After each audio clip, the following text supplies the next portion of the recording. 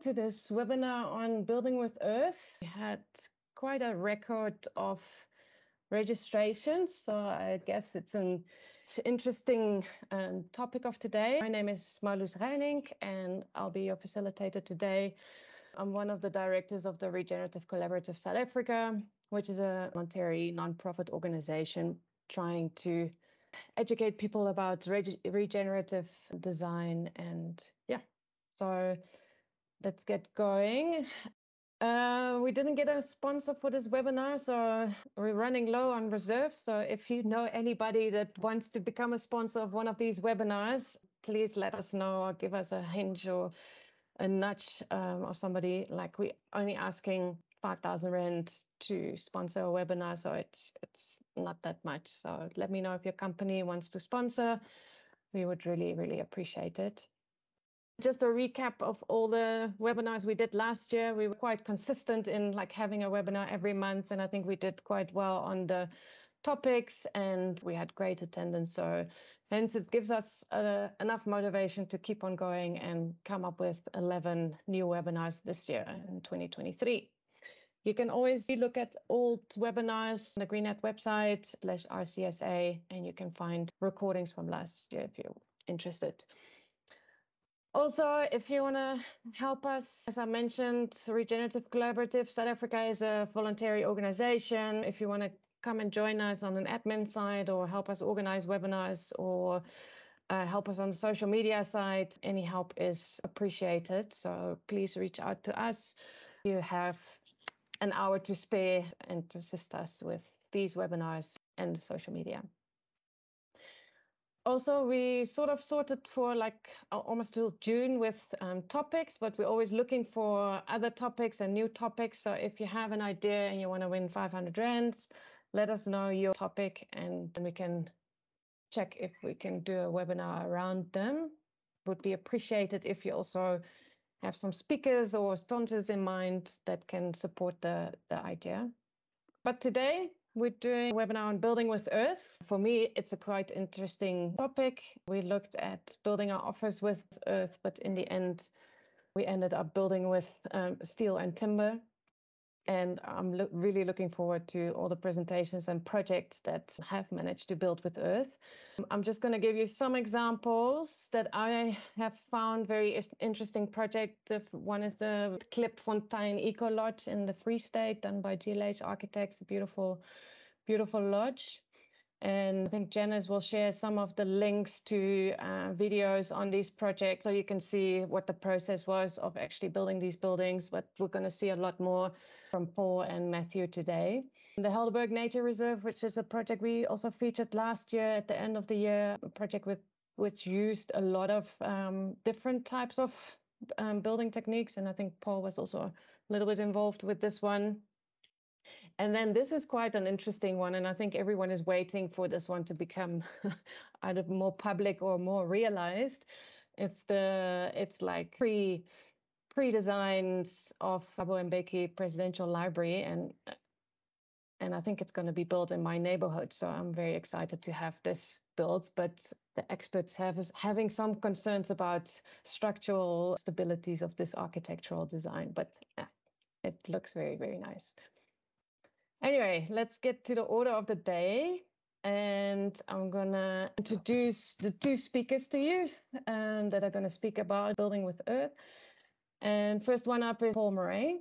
And he's got a couple more gray hairs than the picture does here, but very happy to have him here.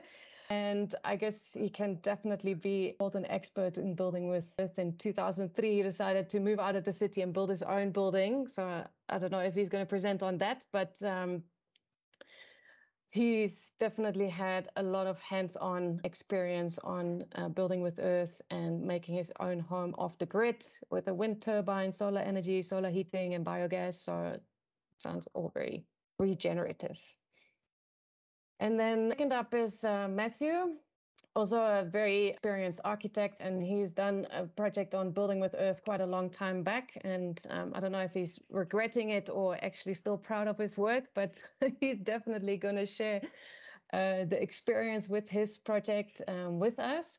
And he's currently working as a as a senior architect within IDC um, architects. Where did you find that picture, Marlies? Um, Google. oh, really? That's very young. I think you also got some extra gray hairs these days. anyway, you can go for it, Paul.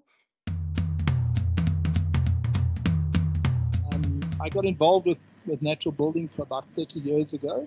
Started with some projects in Mozambique and uh, have actually basically through default become a rammed earth specialist. I never set out to specialize in the medium, but it seems to be a medium that's chosen me to specialize in it. So uh, what I'm going to show you is all my own uh, work, um, and as we go through, we'll look at just some of the issues and details that come up when you're building with earth. And and the main thing I want to say, just just and we will go through this, but you know we really are in a crisis at the moment, and unless we change to materials that have lower carbon footprints and or materials that also uh, mitigate the use of energy in our buildings aren't going to handle the climate crisis that's coming up. Okay, so uh, this just uh, lays out what we're going to look at, and uh, I'll go straight on to the introduction. See if Malasi's got that. That building on the right is is a is a lodge we did in uh, Kruger Park um, with Nicholas Plewman Architects, and uh, you'll see a few photos of it. But basically, rammed earth has got a very low carbon footprint. I favor stabilization with lime, though there is cement and bitumen that you can stabilize with, but those have problems that lime doesn't have. And as a result, it's got a low carbon footprint. And just to say, look, if you are stabilizing the cement and you put thick walls in, you're probably not saving the environment. So I think if you do cement stabilized rammed earth, it's actually not doing anything. And the other thing to point out is that when you stabilize with cement, it actually destroys the thermal qualities of the rammed earth. So rammed earth has got, uh, uh, and we're getting onto the thermal mass, but it's got a unique ability to actually absorb heat and then uh, radi- radiate out heat depending on the on the situation. So if it's very hot, it'll actually absorb all the heat. And I've done a few projects in Botswana where we've had temperatures over 45 degrees, and it's still perfectly comfortable working temperature inside the building. And that is because it actually has a less dense material than concrete, but it, it traps water vapor in the wall. And as you know, water is a very good, uh, very good thermal properties and absorbs and, and releases energy very quickly, whereas air is an insulative material. It's also abundant, and uh, a lot of my work has actually shown that we can almost use any soil on site. And I've done some very interesting stuff. Building in Botswana, for example, we build a soil that people say is unsuitable for rammed earth. But my work has shown that actually you can pretty much use any soil if you modify it and know how to get it to work. And the other one is we did some acceptability tests when we were in Botswana, and we asked people whether they would live in a rammed earth building, and we found 95% of people are happy to live in such a structure and that's a lot higher. I mean, when you look at um, bricks, for example, Adobe bricks, you have about a 35% acceptability level there. We're talking about in Southern Africa. So it's, it's a very acceptable material and it's quite desired by architects for its amazing beauty. Okay, so, I, and I touched on this mixed design. Uh, getting the right mix is critical for rammed earth. I've actually done a lot of work uh, in this field looking at how to make soils work. I've done that picture up there on the left shows a, a bulldozer in in the Kruger Park. That's a pit that they're using to build roads from. And road mixtures are quite suitable mainly for building, except they might have rocks that are a bit bigger than what we like. But essentially on the right, you can see different soils, different colors, and uh, you know, getting getting your engineer involved and actually choosing a, a mix is, is, is a challenge but basically looking for a mix that, that has some gravel, some sand, some clay in it. The clay holds the whole thing together. And when we stabilize with lime, what the lime does, it actually waterproofs that clay. So if you put too much lime in, your bonds are going to be weaker. The clay bonds are actually stronger. So we always like to, we actually do a lab process where we actually test different stabilizations in a, in a soils lab. And from that way, we get the right mix. Okay, so obviously, the other one is, is the amazing patterning you can get from uh, rammed earth. And I've just got a few tips for other architects. One is have a dark or a light color in your banding. That really helps to set your, your balance. Don't go with too much contrast. Um, kind of isn't fun living in a, in a zebra striped house. It looks great in Instagram photographs, but actually, and uh, you'll see that middle photograph there in the, in the slide, that's the kind of finishes I think that we should be aiming for. Actually, people have a strong affinity to Earth. I think it goes back for millions of years. People have lived with Earth, been with the Earth, and and we actually like the restore um, cool tones that Earth gives us. But those are three different walls, all created for different things. Uh, and the other one you have to watch with the Earth house is obviously not to get too dark inside. The standard thing of, of using a lot of white is a bit more challenging with Earth. What I tend to do in my designs is use white ceilings, uh, light floors, and then the walls, because they're not as reflective as a white or a light colored wall, to use them in the building and it, and it gives you sufficient light. Okay, so that picture there is a, is, a, is a building we built, I designed and I built in the Monaghan farm, and it's actually completely cement free. So even the foundations uh, don't have a massive concrete footing. I did add that is that does have good bearing potential there, but it, uh, no, we did actually go down two meters and stamp up. We built a rammed earth foundation under that. The floors of that building are earth, also earth. So that's, except for the roof, an entirely 100% earth building. And, and the challenge is that if you, when you build with earth, you're going to be building thicker walls than usual. Generally, uh, in South Africa here, we use 400 to 600 thick walls. Um, and that, if you're going to do a concrete foundation, requires a massive concrete foundation. So the whole thing can be lost if you then put a massive concrete foundation in. Your, your carbon savings are basically negated ground. So one done has to be. And the other uh, other thing, I think the next slide shows it. The other one is to use uh, stone footing. Well, that that picture you can see the stone footing there, and that's actually done within the same formwork. But we find that if you do it, if you actually put up the formwork first, you can slap in the stones like very quickly and very cheaply. Um, you don't need a stonemason to place those stones carefully. Uh, and that is the traditional footing that was used the traditional rammed earth buildings, and many of them have been standing for five to six thousand years. So, yeah, I mean, your, your challenge is, is, is getting the engineering to work on the stone footing. I've certainly often had to build test samples that the engineers can actually test to see uh, how strong the footings are. But, but all of them, whenever we've done them, they always passed any uh, actual testing we've done. And on the stone ones, you start with bigger stones at the base, and then you move up to smaller stones, as you see in that picture. That picture, yeah, it's just a picture of my big earth wall. We haven't put any joints in there. We're going to see if it cracks or not. Okay, so yeah, here we've got an example of a, of a concrete footing. These were, these were actually samples done for the client, very expensive samples where they cross the concrete. The other one is you see what this does. It brings the the, the interface between the earth and the floor above ground. And you'll find if there's a lot of examples where people have done that. So that really helps. There's a lot of wear on the corner of the wall where it meets the floor. By lifting up on a small plinth wall, um, you can avoid that problem. This is a massive. I think this plinth wall is about 400. Um, it was done like this for aesthetics as well as that my design, but also all the services running in the concrete, which is a bit easier because services in rammed earth walls is actually one of the challenges, but you know they, they are easily overcome. The challenge for designers, and in South Africa we're not used to that. We actually have to think about everything before we build it. Earth doesn't suit uh, make it up kind of thing as we go. We really have to have considered where you need your services beforehand.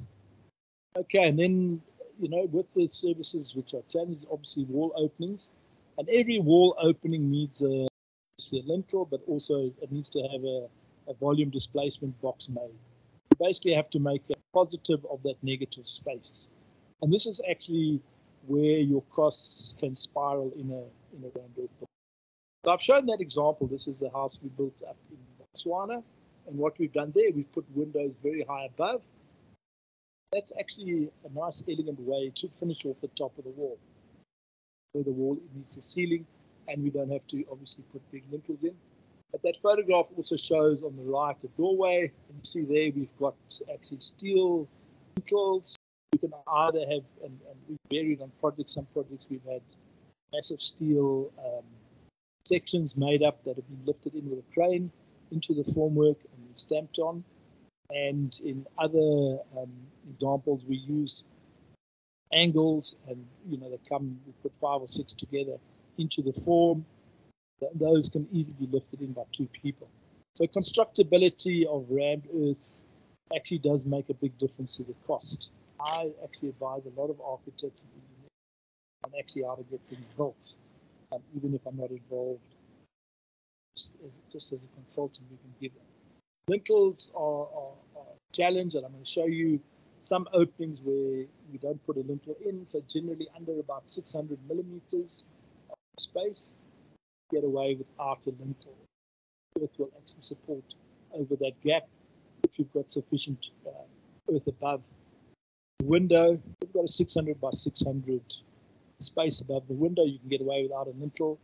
Um, below that, we've also used um, concealed lintels where we'll put reinforcing, steel reinforcing into the wall and stamp that in. Obviously, the the metal plates are, are very favorable. They give you a very good lintel, and they only from the front you only see the, the one little millimeter of the of the wall, and then you can also do concrete or timber beams that are cast in. And in fact, yeah, we did a house in Noordhoek. I haven't got photos of it, but we used timber. It was timber uh, throughout, and we used timber placed into the wall. You'll see we cut those steel ones away where they go into the wall, so you don't have a horizontal line going into your wall. But uh, yeah, on the trick there is not to have them too heavy that they can't put it up. This is again an elephant point. That's actually a massive window. Um, you might not realize, but that wall is over six meters high, and uh, that's a big, big opening.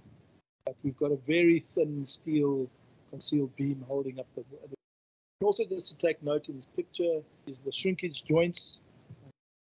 Every five meters or so, you need to put in a joint, the same as you do for concrete. Material does shrink and it, and it will crack.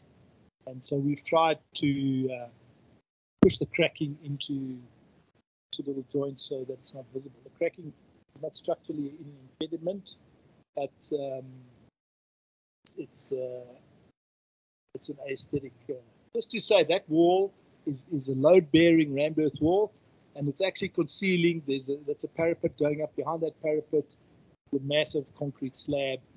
Originally, they designed it to take all the services for that building, all going to be on top of that slab. So you know, don't worry that the earth can't take the, the load. This, you know, engineers were pretty confident that uh, would be able to handle all of that plant up there.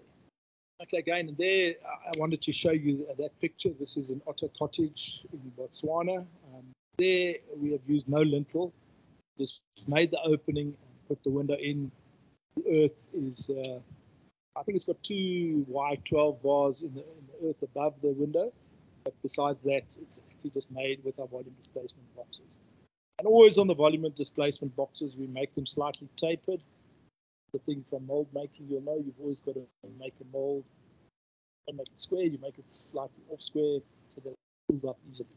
Because uh, the forces of ramming are quite considerable. You don't get those boxes up. With a taper, they're quite challenging to get.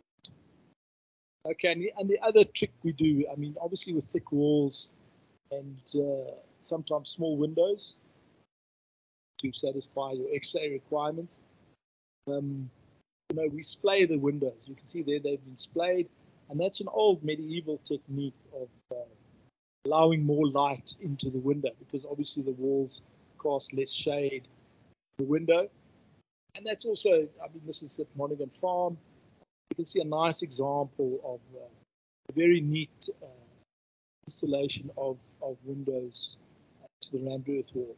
And I just want to say on this project, we actually uh, post measured every opening, even though we used the same formwork to make the windows.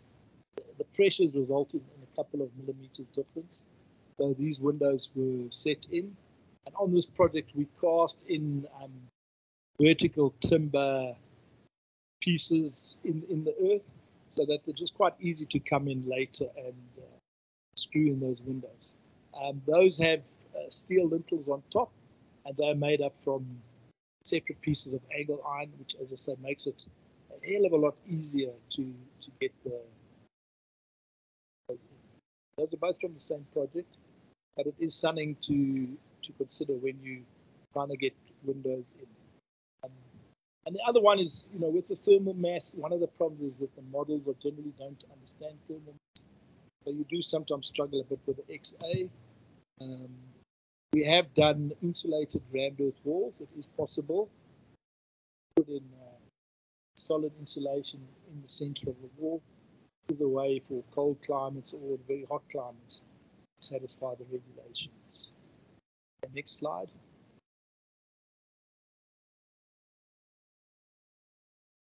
Okay, there I just wanted to show um, just on the walls, that's a big wall.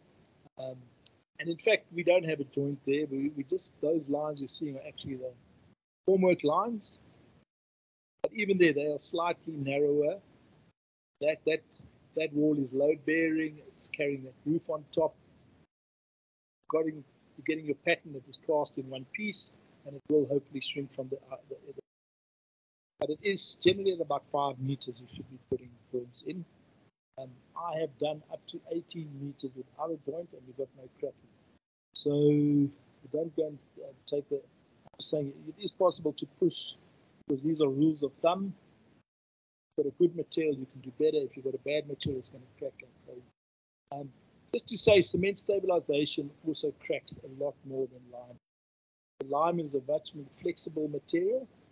It's able to actually take some bending and moving earthquakes and general movement of the earth that happens. Okay, so there again, I can see there we've just put, we've actually built the corners first in this project. So the corners have an expansion. We have a long flat section of wall. Of wall. This is this is actually material that has got no real property to build rammed earth. It's, it's, it's in Botswana. It's the extremely fine sand. We added a few uh, rougher particles into it, but only at about 2%. Um, and it's lime stabilized, which, considering that its PI is 0.2, it's, it's amazing that it worked. But as I say, we do we do test this lab tested, and, and we do find some surprising results. And we we've basically developed a process now to test soil and to see if it's suitable before we, we build the entire house. Okay, and then uh, obviously attaching, we're going to look at roofs and, and, and attachment. Um, this this is again this elephant twin building. You can see that massive six meter high wall. Um, on top there, just take note. There's a there's a steel coping. So uh, there's obviously uh, an earth wall exposed totally to the rain doesn't doesn't last that well. And even these parapets are a little bit uh, risky, but uh, architects like like it, so that's what gets done. I prefer generally we advise people to have a good roof overhang because it does protect the rammed It will get a bit of faster wear on this. This one we've actually overcoated with a sealant to to try and mitigate the water runner down it. Um, it's, it's, it's a completely invisible sealant, but what it does, it pushes the water away. But in between there, you'll see there's a there's a massive steel roof. You can just see the fascia there. And that is actually held into the rammed with, with blocks. We made steel cages that we, we when you're stamping, we put them in. There's concrete cast in there and that roof um, goes on the corner and has spans of over 10 meters. It's all suspended from this load-bearing rammed earth. So and there's quite a moment of, of bending there. but uh, that is possible, and uh, there are, you know, you can do quite a lot with the earth. Don't think it's just uh, very soft material. Out of interest on this project, um, our steel engineer, he was he was interested in how strong. I said to him, just put it in with some some chemical anchors. He, didn't trust me that they would work, so he actually tested one. The chemical ex, uh, anchor actually pulling directly out uh, took a ton of, of, of pulling force, a thousand kilogram pulling force to pull it directly out. Normally the anchor is actually 90 degrees, so it's much stronger than that. It's not pulling directly out. But just to say that uh, uh, that's just a standard chemical anchor going into the wall and a ton. We, we were able to use a sample wall to actually test things like this out on site. Because engineers are unfamiliar with Earth, and um, so actually on a project like this, you have to test everything. Okay, then uh, obviously, so one of the challenges of, of Earth is that it's not as as as tensile tensilely strong as, as a brick or uh, mortar and, and, what we call conventional construction. I'm quite nervous to use that word because it's not really conventional. This is more conventional, but you do have to watch for wind upliftment. Um, so what we've actually done there is, you know, from those concrete foundations we have rods that run through the entire height of the wall and they, and they're attached to those big beams that you see coming through holding the roof up. But as you guys know, the biggest challenge is actually to hold the roof down. If it holds up, that's fine, but when a massive storm comes, especially on a flat roof like that, it's going to get lifted up quite easily. And then the front, hold it with a column. So um, the other way that we do it is we put dead man in the wall. So usually at about a meter below the wall, we, we start putting a piece of wood with a strap around it and we start pulling up straps. So it's not the 600 millimeter that you use in brickwork. Um, we tend to, to rather go for at least a meter and even further if, if it's a very high, I mean, coastal areas. Coastal areas, we generally always just come off the foundation. We have a couple of, of uh, stays that go all the way through the wall from the ground up to the roof. Um, as you can see here, we have um, overlapped that roof, not a huge amount, but sufficiently. This is again in Maun Botswana. And the rain there gently comes very flat down. We've had we've had a bit more challenges in the Cape where the rain tends to come horizontally. And we've certainly found that the, the, the windward side of the house is wearing faster than the other. And generally now we always overcoat the earth in those areas to reduce the, the water test. There is actually a spray test you can do on rammed earth or any earth building actually see how it will last against the water. And again, that's worth doing uh, before you uh, foundation construction phase.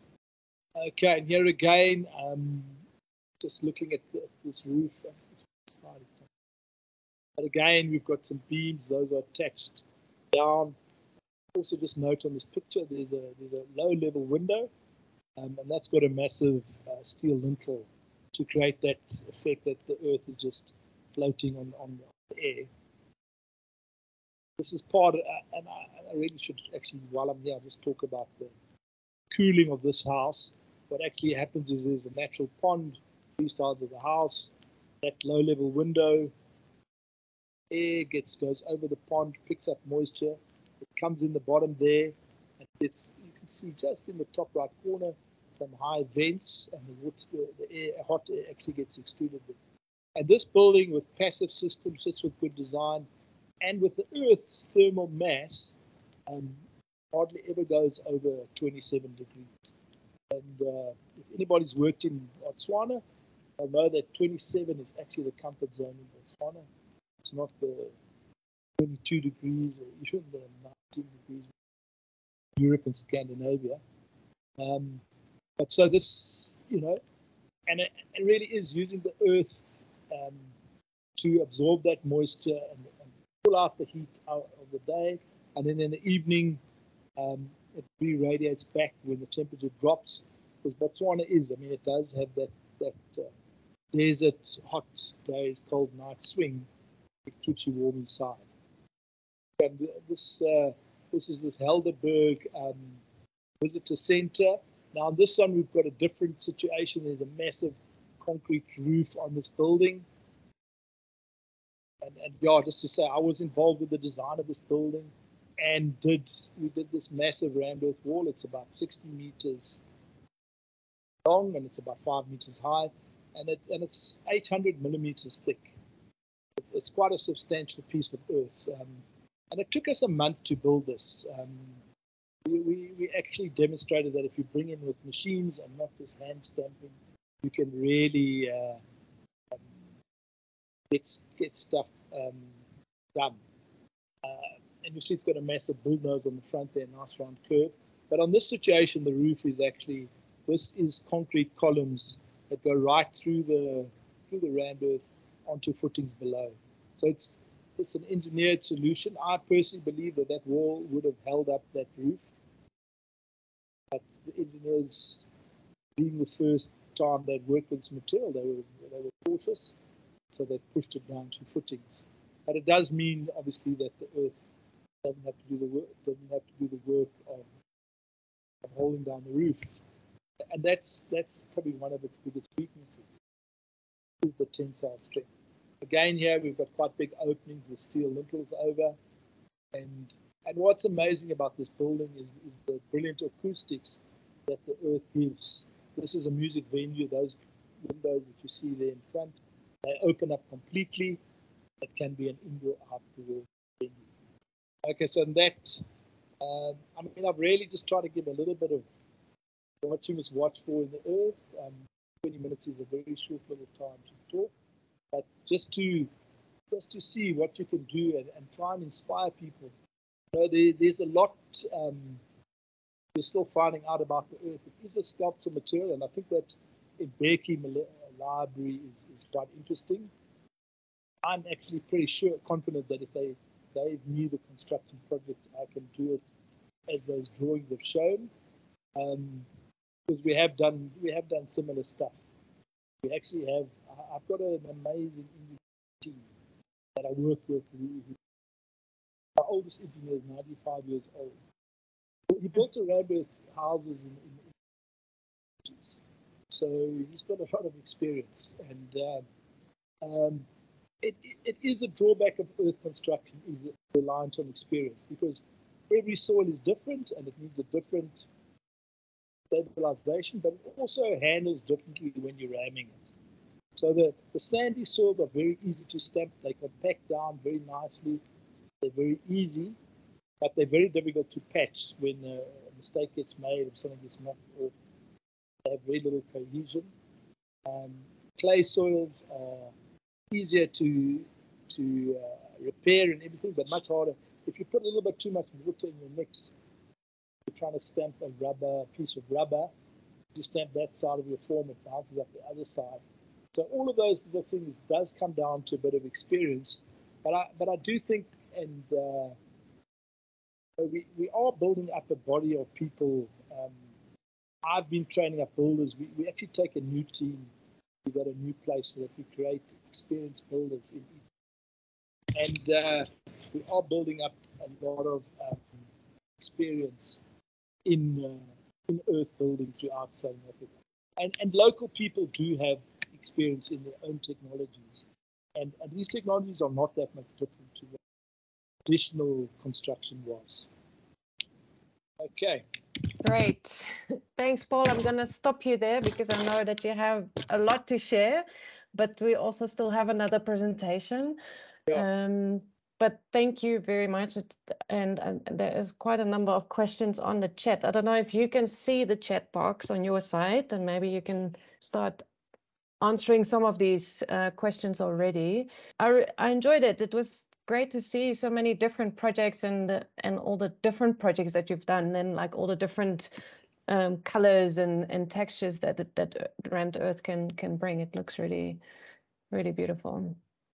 Thank you. So I'm going to hand over to Matthew.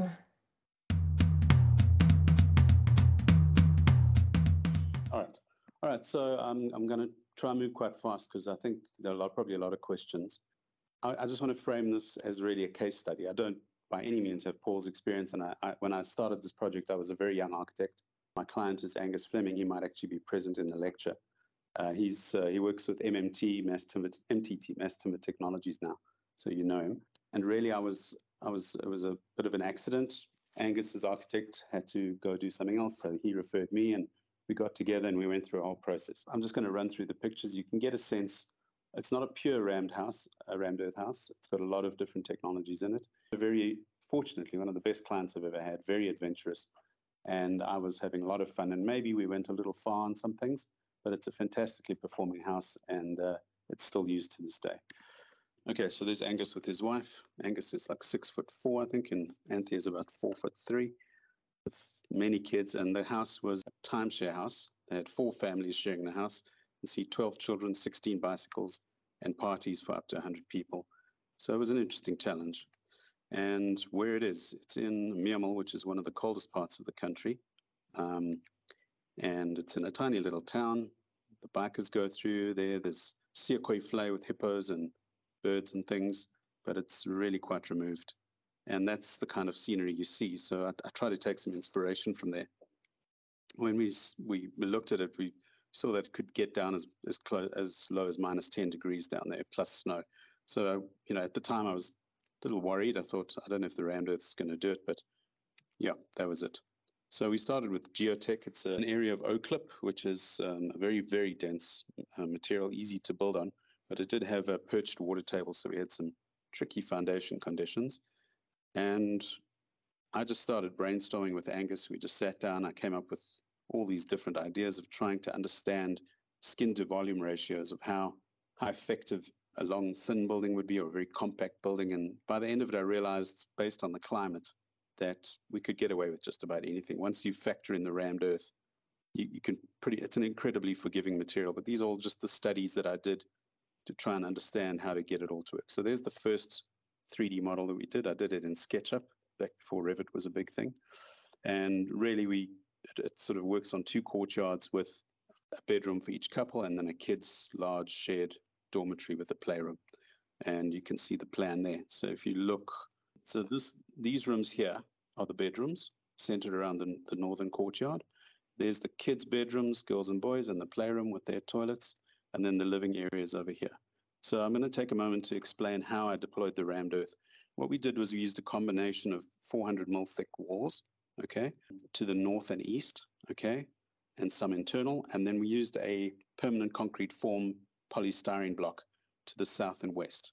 Part of it was because the wind comes from the west, so we didn't want the wind cooling down the rammed earth. It's quite sensitive to ambient air, as I'm sure Paul can tell you. Um, and we didn't we were worried about the time factor. We had a limit. It was a very much a shoestring budget, and we didn't want to do it all in rammed earth. And we felt it would be a nice contrast as well. In retrospect, maybe that permanent concrete form, we could have used something better. It works well, but it was difficult to finish. And you can see the scale of the houses, it's quite large. But we worked very hard in getting all the flows to work and how to, how to work together. At the bottom, you can see garage with the plant room. Plant room was going to take all the advanced kit we were going to try and get this thing to zero energy house and zero water and all that. And we kind of did, you know, back, this was back in 2008, nine, I think, um, seven, eight, nine. So before net zero was really big, we kind of accidentally headed there. Um, I, I really enjoy the plan. It really works well. Client is very happy as far as I know. And there's the roof plan. It was a tricky roof plan, but I used a lot of tricks in terms of planning from Japanese tea house style in terms of gradients of privacy.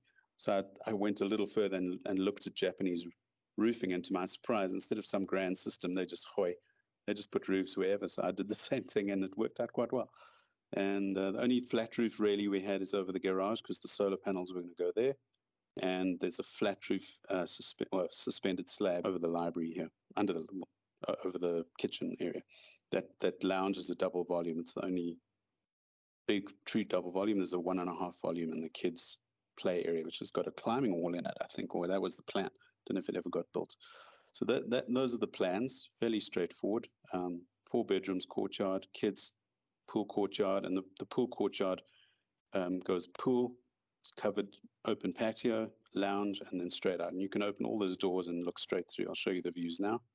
The kitchen has a, uh, a wraparound sort of prep area, and each of these areas can, as I recall, maybe just one or two has a roller shutter because it's a holiday house. So you just close off those appliance areas of the roller shutter. But the kitchen can join into the dining room and become one super dining room for large areas. Plus that patio um, is, is really expansive for using as for parties. Right, so that's that. And let's just go through some of the images. Um, so I totally agree with Paul. I mean, Rammed Earth is a labor of love.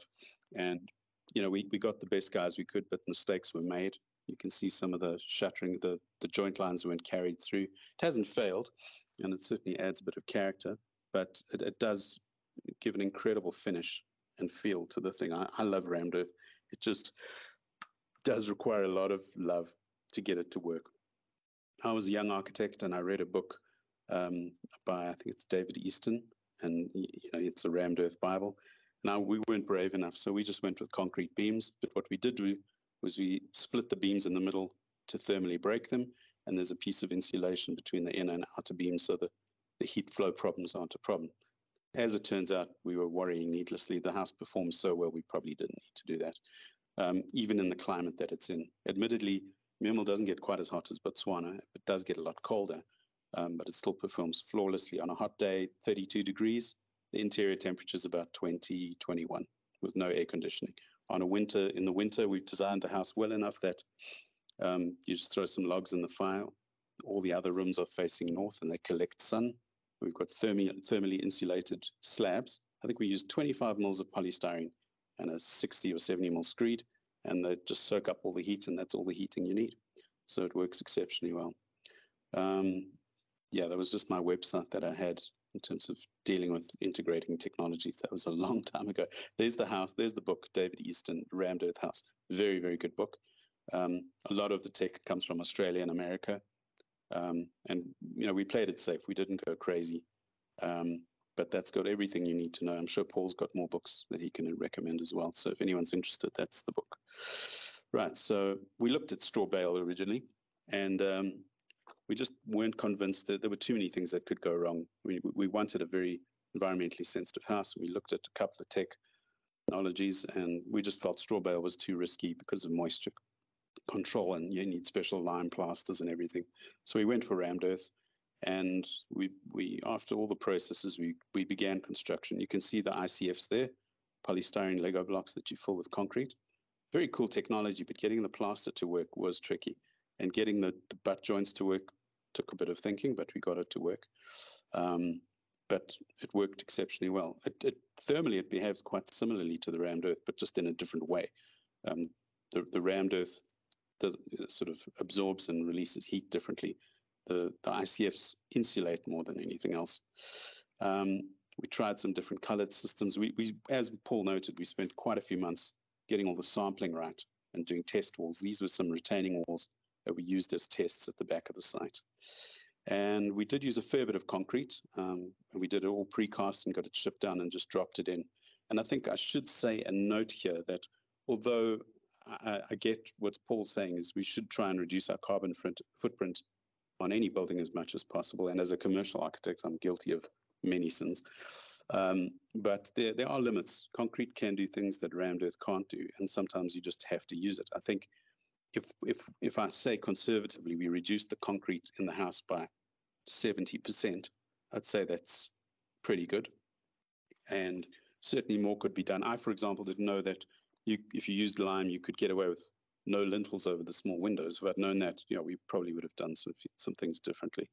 Um, so what you see is there's the uh, chimney. That's a specially designed chimney. Again, over designed, but I was very excited. That has got an internal and an external flue to maximize heat recovery.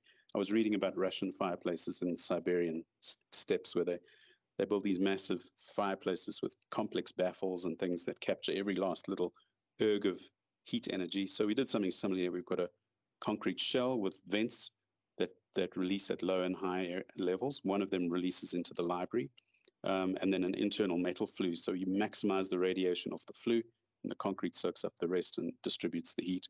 It works very well.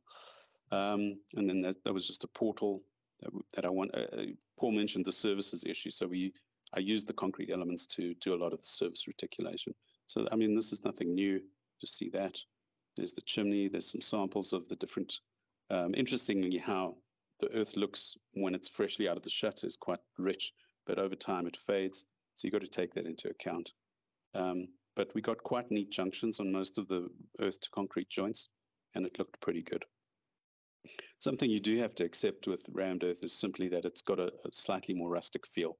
It's just not going to be. A, I mean, I've seen houses in Australia where they're using machinery to do all the ramming and and very expensive shuttering. You can get very very nice finishes, but we were on a shoestring. We we did our best and we got a reasonable finish. But sometimes, you know, you see some slight variations and failures.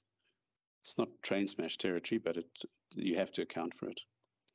Um, we used some other tech here. This was a polystyrene void forming slab technology for the for the for the uh, garage flat roof. Worked pretty well. It's expensive, and you can probably do other things now. Um, but yeah, it was it worked for what we needed. Um, rain, yeah. So we had some hailstorms and we had some damage to the facade, and it was also tricky casting at high level. So we, we definitely got some some failures that we had to account for. And, and I would agree with Paul that building in rainy areas is something to be very thoughtful about.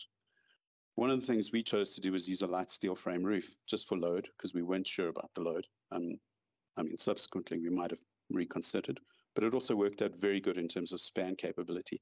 And all we did was plugged in little timber pieces at the end for the eaves where the raft is projected, and it worked very well.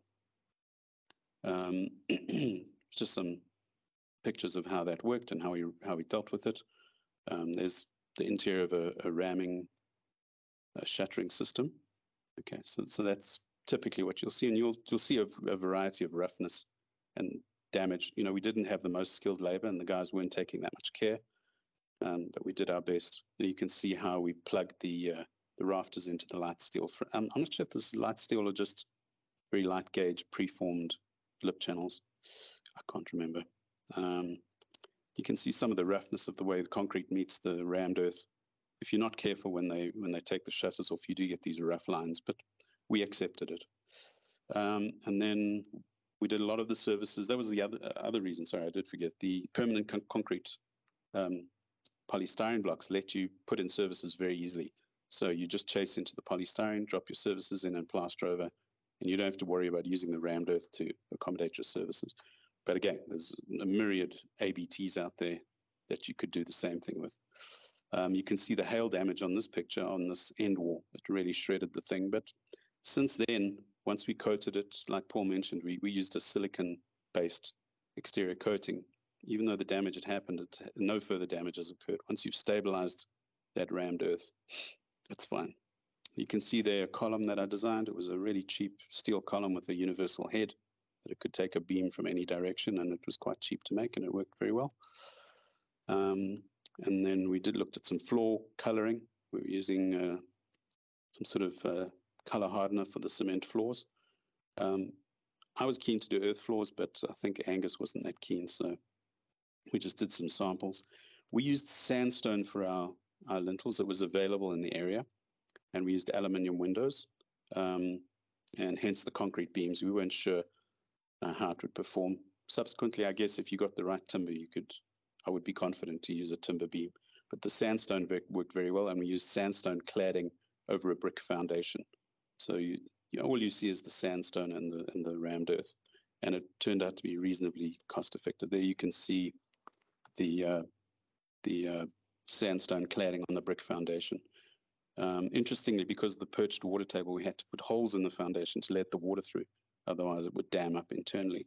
So some things, you know, um, I've, I've seen studies of stacked slate foundations that would have worked as well. But Angus is a builder, client's a builder, commercial builder. So he, he knew what he knew, and we, and we just did it the way we knew, and it worked out very well. And then obviously the waterproofing, we put uh, a cementitious waterproofing um, just underneath the rammed earth. Maybe Paul can advise on better ways to do that, but it, it's quite high off the ground as it is. So perhaps it wasn't even necessary. And I'm sure if Paul says uh, using lime makes it naturally waterproof, maybe it, it's not necessary if you use lime. But we were using cement, Um, speaking of which, I think we used about a five or six percent cement mix into the rammed earth, and we didn't notice a huge performance loss. But this isn't as hot as Botswana, so maybe um, if if if you use cement up in the more extreme climates, you would notice it. We, the client has never mentioned anything about the performance. It's a it's a really well performing house. Anyway, so that's how well, I was taught at Wits is give it good shoes and a good hat, and, and everything will be fine. So there's our shoes, sandstone cladded over brickwork. And then we jumped into solar water. Um, we had a, a, a, lot of solar water panels, and um, it, it, works very well. Back then, it was relatively new. We had a dedicated room for that. But I guess I wouldn't say anything that's not remarkable these days. Um, we did do a black water system, took a bit of getting right, but we got that to work as well. And um, that was one of the first Blackwater systems because um, most of the houses down there have septic tanks. So we just chose to do this and it worked out fine.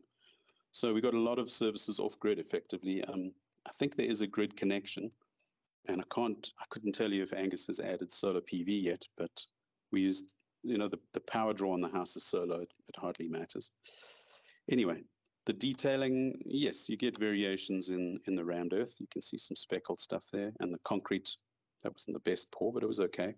So it's a slightly more rustic finish, but I, li I like it. And, and, a lot of people do. A lot of, it's got a soft feel that's not as maybe um, sharp or aggressive as very modern detailing in, in some houses. And uh, some people like, I guess you either like it or you don't. Um, we liked it, so we were very happy with it.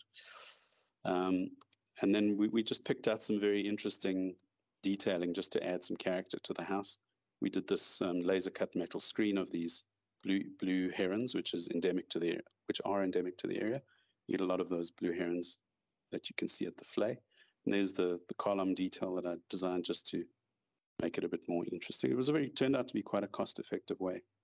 Um, we did uh, we used sustainably sourced timber decking. I think I've got some other pictures. Yeah, and for the uh, so there's the base of the column. That was for the staircase. That's all sustainably sourced teak from Botswana or Zimbabwe. I can't remember. Um, all laser cuts. I was in love with laser cut stealing back, steel back then, and I went a bit crazy. But yes, it worked. Um, right. So, so there's the finished house, and you can see the, the polystyrene ICF units with their plaster next to the rammed earth, concrete beams. We did choose to plaster the top because we had some rough finishes at the top there. Um, and you can see through the uh, glass doors. That's the lounge and into the pool at the back. And then over here is the kitchen. Um, it was quite successful. There, there were some things we weren't happy with. Some of the, some of the construction quality wasn't ideal, but you know, on on a very tight shoestring, we did a pretty good job. I also was quite obsessive back then. I, I didn't realize just how over designed this thing was. I wanted to insulate the concrete chimney to to prevent heat loss, and it's just that's in the noise at that point. It was really overkill. Um, right, some of the interiors. There's the kitchen. Um, and you can see the roller shutter over the appliance counter. There's that portal. Uh, this isn't finished. The lights were supposed to go in there. That's a, just a nice thing. We we obviously used concrete beams. We we we didn't know. I don't think we could afford timber beams of that size, and we knew how to do the concrete. We also used some very interesting. We used thermacoustics insulation, which is a semi-rigid recycled board, very, very high performing ceiling. It's a combination ceiling and insulation system, and it worked very well. Just very straightforward cornices, but you can see these cornices are a bit skew here and there because the, to get it straight was tricky. So again, there's some compromises there. Um, there you can see the scale of the chimney. The, the wood burning stove goes in there and it's got vents out the back and up into the library at the top. But you can see the lovely quality of it. I mean, it just develops, this rammed earth develops an incredible patina next to the concrete. And it really worked very well.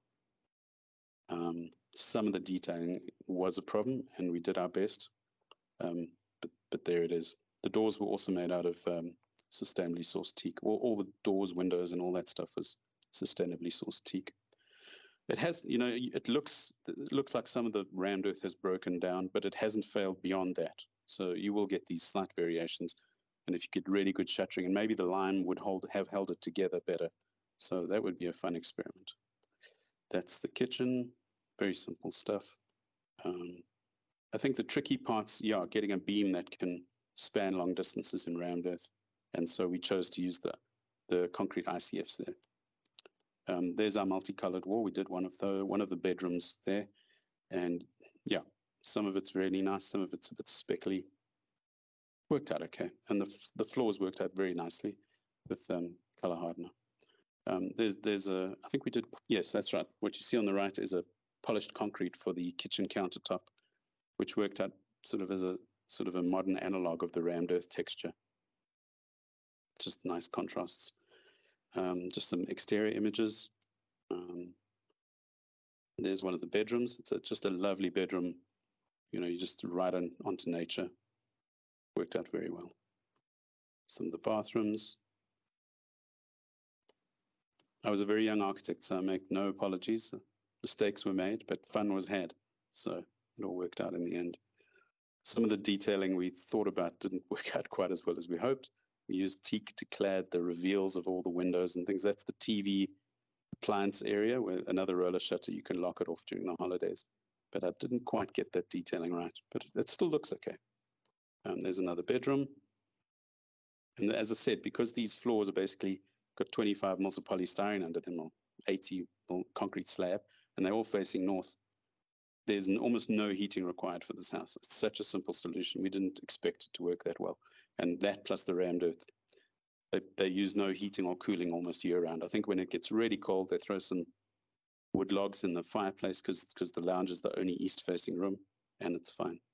And there's your bathroom, lovely space to to get comfy in the bath.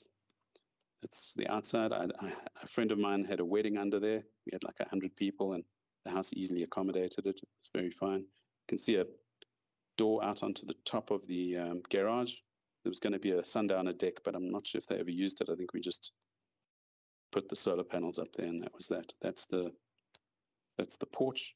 Just worked out. Even this is really interesting. I mean, the, the thermal control of earth is exceptional. I've, I've, never encountered anything like it. Plus the humidity control. So in winter it humidifies the air, and in summer it dehumidifies the air, and it also does all these amazing temperature control, um, absorption and release um, effects on a hot day, standing out on the grass, it's about 30, you can feel it's about 32. Crossing under the porch, okay, with an insulated roof, it dropped to about 26. And as soon as you go inside, it dropped to about 21 with all the doors open the whole day. The interior temperature stayed 21. It's absolutely incredible. So, in terms of thermal control, rammed earth is exceptional. There's another view of the pool courtyard. It wasn't finished there. You can see some rain damage on that, that wall. Getting rammed earth high up is a challenge. It's expensive because of shuttering and all that. So one has to think about that. Um, a few more images of the outside. The Cosmos, just for funsies. And there's the, the pool courtyard. Um, that's a naturally a natural pool as well. There's no chlorine or salt or anything. It's a naturally um, pure, uh, what do you call it? A natural pool. It use, it's got a little pond with fish and and plants and things that clean clean the water automatically. And there's the multicolored walls on the kids' playroom area. Just some other images. You can see some of the rammed earth came out quite smooth, some rough. Sometimes it's because they over ram it and the water seeps out and you get a smoother finish. Sometimes just you get a more granular mix of soil. We'd had some outdoor little nooks for seating. It was fun to do. There's a very young me. Okay, Nothing special there. There's the lounge. You can see it opening out into the pool. Just a very, very functional house. It's the kitchen area. Stairs weren't complete yet. There. That's the library upstairs. You can see the heating vent for the dissipation of excess heat from the, the stove up there. Um, there's the bedroom for the outside. That's the children's playroom. Uh, that's into one of the bedrooms.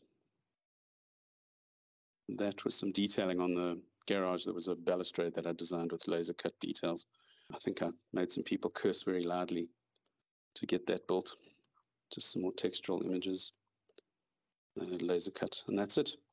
Sorry, I rushed through it a bit, but I think Paul covered most of the technical stuff. I didn't want to take too much time. So I would say in summary, it was a very, very fun project. I had a great client. We learned a huge amount and we, I think we pulled off a pretty good house on a very tight budget. And I never got to do another one. I think Paul's lucky like that to to get to play with this stuff all the time. But it is it can be stressful. You need a very high skill level and a lot of experience, like the man said. I think I, I could I've, I could certainly do it better this time around. Thanks for watching. Great. Thanks, Matthew. That was amazing and long overdue as well. We were talking about this presentation for a long time. I think there's a number of questions in the chat box, and I'm going to go backwards. Your client, Angus, has confirmed it's still performing really well, so well done on that. Uh, one question from Michelle. Could you possibly point to good references or examples of rammed earth construction processes in buildings that are constituted, not freestanding, they're unfolding over time as found in Yemen and Morocco?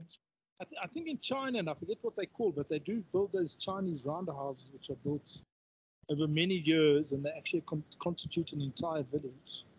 Um, those are examples I can think of off my head. Um, oh, the chukka. Is it a chukka house? Yeah, it's it's an entire village, you know. So it's and they've actually about yeah. years still with people living in them today, and they still look uh, pretty amazing. The photographs I've seen of them. Hakka homes. Hakka, sorry. Oops, sorry. Thanks, AJ. if anyone has a burning question and want to put up at their hand, please, please put up your hand and I can unmute you. I saw another question from Marty. One of the perceived problems with rammed earth buildings is the difficulty of being able to patch the walls and still achieve an aesthetically acceptable final product. It doesn't really offer flexibility for late changes or change of use. I'd agree with that. Paul, you want to comment on that? Well, uh, patching is, is definitely not easy, but it is possible. You know, on all our projects we've worked on, and I think we've got a very high level of finish with the people, and we've had to we've had to patch. I mean, on a construction site, people knock off corners, they do damage the walls by mistake.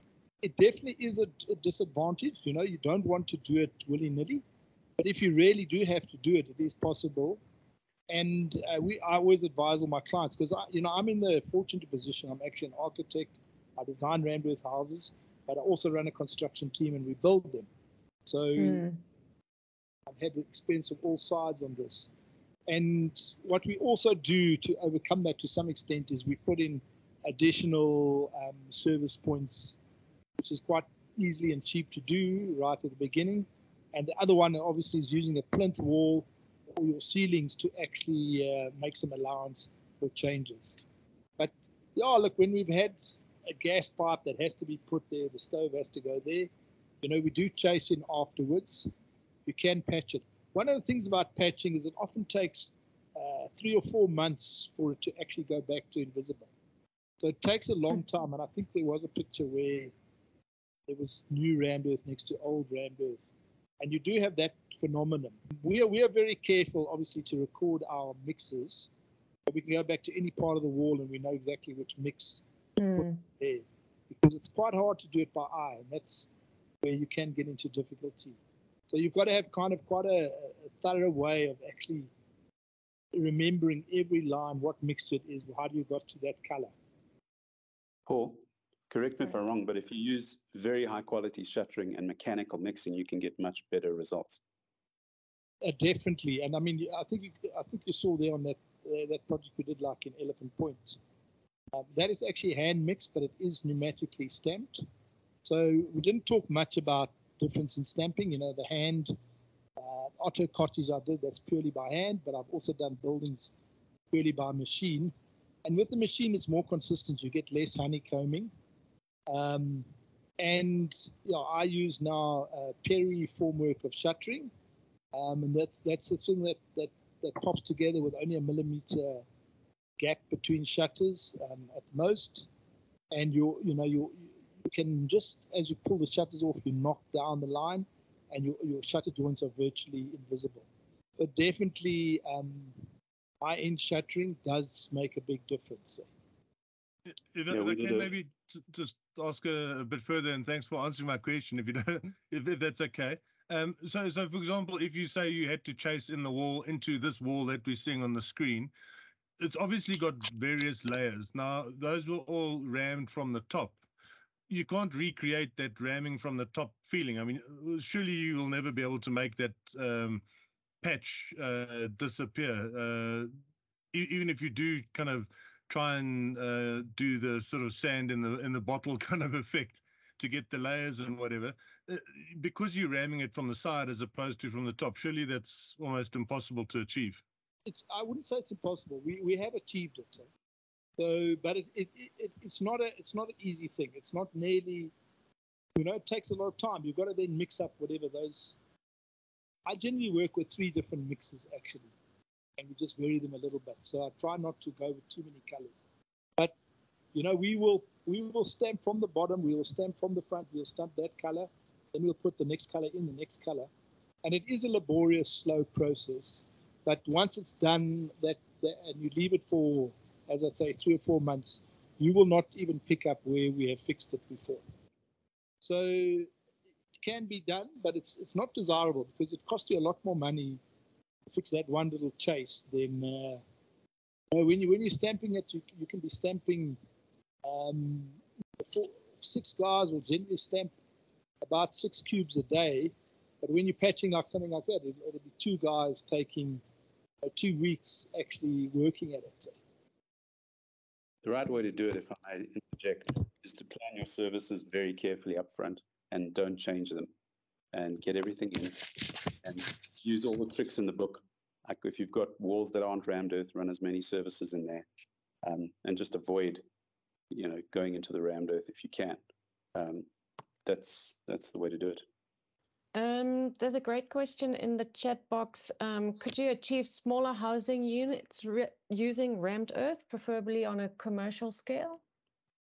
Okay. Well, as a commercial architect, and I've done a lot of housing, um, I think you'd have to run the numbers very carefully, and I think the labor intensive quality would have to give way to mechanical processes for a start. So unless it's in a very remote area, you know, there's a hundred variables. If the land costs cheap, sure, you can do a lot of things. But if the land costs marginal and the area is marginal and you've got very small rooms, you start getting a very high ratio of wall to area. So you're losing GLA or, or usable area to wall, where on a normal commercial project, you'd be using very thin walls. For example, I use aerated concrete blocks now as a, as a standard, which are 150 thick, um, to get a you know to encapsulate a 40 square meter unit. If you jump that up to 400 or 500, you'd end up losing a few square meters. So the, the commercial thing would have to be looked at carefully. I, am absolutely certain it can be done. We just have to make sure the right project, you know, it's the, you got the right project for that vehicle. Um, and maybe not student housing, maybe low cost housing.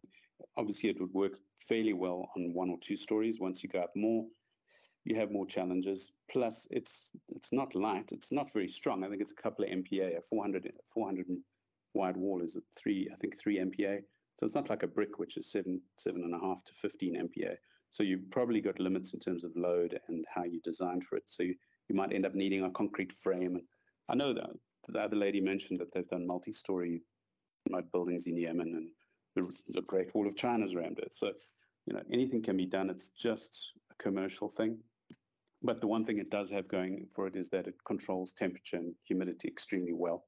And so your running costs would be theoretically very low. The, the, I think the real problem with commercial projects is the sites tend to dictate that you can't orient every room the way you want it. So you can't always use the sun the way you want. You can't control against wind. So it's challenging. I would say probably low cost freestanding housing, absolutely. Multi story, I would probably say no. I'm going to give Paul also an opportunity to respond very quickly, and then we're going to wrap up because I'm aware of time. yeah, no, look, I mean, I've I've done quite a bit of work on this, and uh, certainly feasible. And and what you can do is when you when you scale it up, the land earth gets amazingly cheap. So you can virtually build houses for, for nothing. And if you're actually using repeated units, it's even cheaper. Um, incidentally enough, I looked at uh, project in Saudi Arabia, which was high end, but they wanted to build a thousand villas a year. One of the few ways they could achieve that is. And the other one is I'm working. I'm actually working on a European research team, part of a team um, with a whole lot of uh, architecture and engineering schools in Europe, and they they're developing. Um, they they basically want to develop Earth as a, as a standard building practice in Europe. Um, we are looking at some five-story rammed earth buildings. Um, and, uh, we're hoping to actually build one in Botswana. So we'll see, hopefully, if the funding comes through, we'll do that as a prototype. Um, we're also obviously developing machines that can, can stamp out the rammed earth much faster. And when we built that Helderberg Visitor Center, um, we built that in a month. Um, we were doing about 30 cubic meters of earth a day. Um, and we got a very good finish on that. It's not like we just stood in and hope for the best. It's to a high level of standard, but with machines and that you can go very quickly. And it actually does. I mean, look, I don't think we have a choice. We are going to be building rammed earth houses in the next 10 years on a commercial scale. If we are not doing that, we are basically heading for suicide. Um, and that's very clear from the, the science we are seeing. We've, we've used up our carbon budget. We actually have to go and uh, we have to be building with, with low carbon, with zero carbon materials, and Earth is, is one of the few that actually offers that. And in Southern Africa, we don't have sufficient timber to use timber as an alternative. So we basically are stuck with Earth. And the quicker we learn to use it and to actually take it and, and use the potential that the material offers, the better off we will be. Well, I'm going to squeeze in a quick question. Do, do, are there any courses for architects if they want to learn how to build with rammed earth? Yes, I do run uh, courses. I run them on an ad hoc basis. Okay. And um, I just did one in November last year, and we are, we are we are continually doing them when we get a good site. And what I've also done is I also train contractors up. I've got a colleague in Cape Town that I took. Um, he knew nothing about rammed earth, and I took him under, under my wing. He's now has built houses, and he's a fantastic uh, contractor. So we, we also do that. So yeah, get hold of me, and uh, we can take it from there. Okay. Great. Um, we did share your website in the beginning of this webinar. So if people want to find you, it is on simplysustainable.co.za. And then I'm going to quickly squeeze in another quick question and, and then we're really going to wrap up. Um, Andy was asking, what about getting past the NHBRC for new homes? It's not a problem. Not a We, problem. you know, no, I mean, you know, as long as an engineer is willing to sign off on it, we actually submitted our, our building and annotated the, the rammed earth as low strength concrete walls. And, um, you know, okay, admittedly, we submitted in, uh, I think it was Newcastle or Vrede, and they approved the drawings in a day. But, uh, you know, as long as the engineer signs off, I'm sure Paul can confirm. In terms of XA, um, to me, you know, if I guess it depends on your school of thought. You know, if you if you feel like you prefer smaller windows and all that stuff, you can do the, the standard 10400 XA compliance route. But otherwise, you spend 10 or 15,000 Rand and you get, an, a, like you get Malus to do a compliance route. Was it a type B or type C compliance route? And you sort it, then you can have all the windows you want. We use double glazing. We probably didn't even need to, but you can easily get it to comply. But and uh, and he was specifically fo- specifically asking about the NHBRC. Is there not? Andy, maybe you want to clarify your question. I can unmute you. Oh, you're talking about the the the housing insurance guys that take our money and do nothing with it. I don't know. Yes. I actually don't know. I've never gone through them for that particular project. That, that house that I did, that that Lorda did in uh, Elephant Point, that's NHBRC approved. The NHBRC actually was so fascinated they came with 12 inspectors every inspection. So they used it as actually a way to uh, pay their team. Um, we've done an NHBRC approved in Cape Town. Okay. So- So it's I've, I, I look. I actually spent a long time. I'm not so. I'm not a big fan of the NSPC. I spent a lot of time. I said it couldn't be approved, but now we've just gone on and we've we've applied in different jurisdictions, and they've approved it. Um, basically, they have no real legal um, rationale not to approve it, because it is approved under the national building regulations um, is an allowance for rational design. And uh, if you do it to rational design, there's absolutely nothing that they, you know, legally they can say this is not permitted. So initially they were pushing their weight around because they wanted people to get to pay them extra monies and all sorts of things. But mm. I think they realized they've lost that battle, and uh, I think there's been some change in staff. I, I have had uh, on the Monaghan farm, we eventually got an ex- exemption from NHBRC. Uh, client had to, to fund that entirely himself. Um, but uh, subsequent to that, we've actually found they've got a more open attitude uh, and they seem to be approving uh, homes without a problem. Last question. I, just want to ask, Paul, um, when I was doing research on the building, I know that Australia and America has um, very clear and documented code for rammed earth, but I don't know if we do yet. Um, can you advise? No, there's not. A, there is there is a provision for a code on earth buildings, but it hasn't been written yet. Um, and we hopefully will get something that is work being done on it.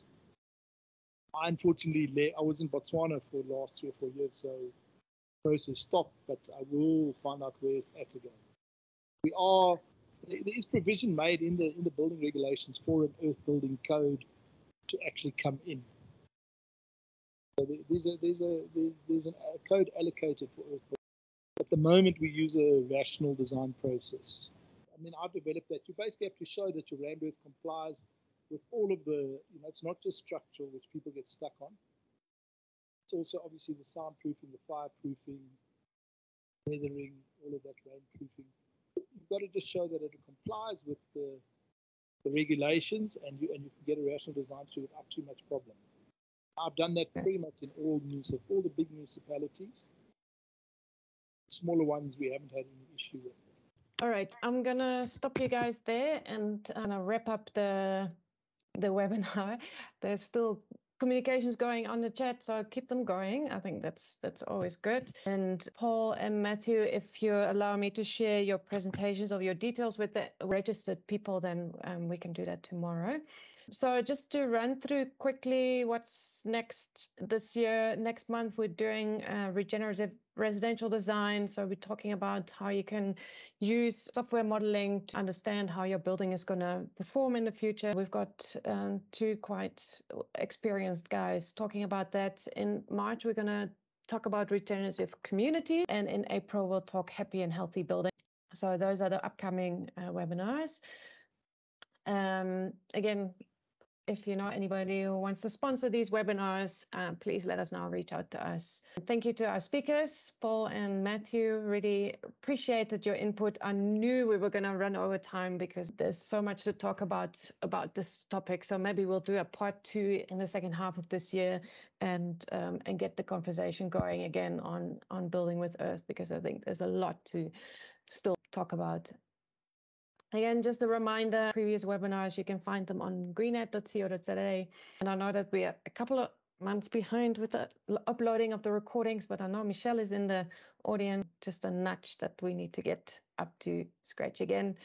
And that's that's it for today. And I thank you very, very much. We had a record number of attendees today, so that is really encouraging and really great and to see that not we're not yet tired of these webinars. So thank you for attending and hope to see you next month. Have a good evening and thanks Paul, thanks Matthew for your contributions today. That's really awesome. Thanks, thanks. guys. Thanks.